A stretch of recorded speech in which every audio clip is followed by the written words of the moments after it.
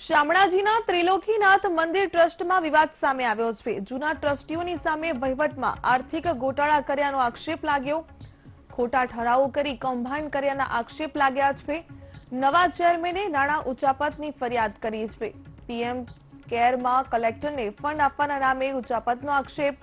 જૂના ટ્રસ્ટીઓની મુદત પૂર્ણ થઈ છતાં ખોટા ઠરાવ કર્યાનો આક્ષેપ લાગ્યા છે. ખોટી સહીઓ કરીને બોગસ એકાઉન્ટ ખોલ્યાનો પણ આક્ષેપ થઈ રહ્યો છે. નવા ચેરમેન દ્વારા ચારેય જૂના ટ્રસ્ટીઓની સામે કોર્ટમાં ફરિયાદ.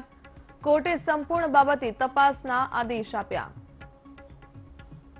વધુ વિગતો મેળવીએ સંવાદદાતા તસ્લીમ સુથાર પાસેથી.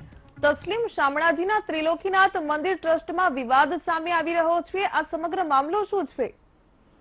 ચોક્કસપણે અરવલ્લી જિલ્લાના શામળાજીમાં ત્રિલોકનાથ મંદિર આવેલું છે. એનો વિવાદ ચરમસીમાએ પહોંચ્યો છે. જૂના ચાર જેટલા ટ્રસ્ટીઓ હતા એમને દ્વારા બોગસ એકાઉન્ટ ખોલવામાં આવ્યા, ખોટા ઠરાવો કરવામાં આવ્યા અને નાણાંની ઉપાચક કરવામાં આ ચાર ટ્રસ્ટીઓ સામે કોર્ટમાં કેસ દાખલ કરવામાં આવ્યો છે.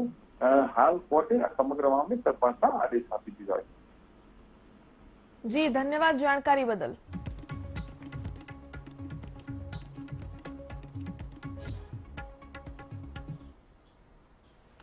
રાજકોટમાં રીલ્સ બનાવવા